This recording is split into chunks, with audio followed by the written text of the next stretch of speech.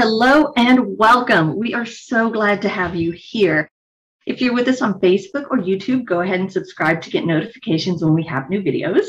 If you're with us on Zoom, drop a hi in the chat. We would love to say hello back to you. And if you're in person, hello, lovelies. It's so good to see you. Um, I hope that you're all having a wonderful day. And if this is your first time here, go ahead and sign our guest book either in person or at oakcliffuu.org slash guest. Today's sermon is Let Me Be with Deneen Robinson. This is a busy week, lots of announcements. So we're going to rush through these. Pay attention. All right. Also, you can check out the e-blast. You know that. All right. First of all, we have Join the Wave Harmony Meditation tomorrow, uh, June 20th at 11:30 a.m. It is a global meditation. So fun.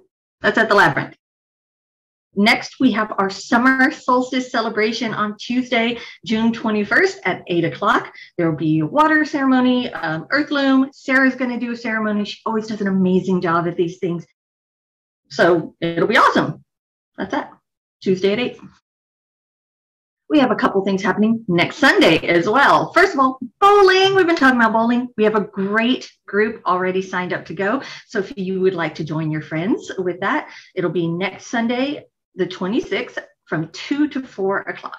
Um, you can sign up online or in person and give your cash payment to Rebecca so that we can take advantage of that. It's a little fundraiser, right? All right, if bowling just isn't your thing, no big deal. We got you covered. Widening the Circle of Concern will be streaming the General Assembly's service about the same time. So contact Sherry or check out the eBlast for more information. Speaking of the eBlast, and General Assembly and widening the circle of concern.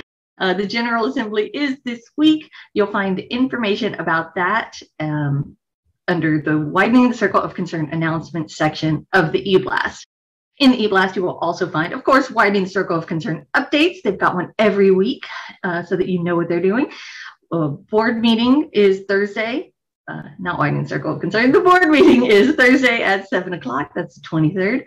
Uh, and there's information on resources if your air conditioning goes out in this awful heat.